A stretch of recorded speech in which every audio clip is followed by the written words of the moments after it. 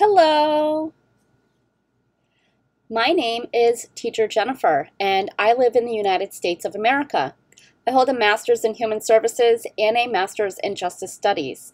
I am also TEFL certified, which means I am certified to teach English as a second language to children and adult learners. I absolutely love to have fun in my classroom and see the academic growth of my students.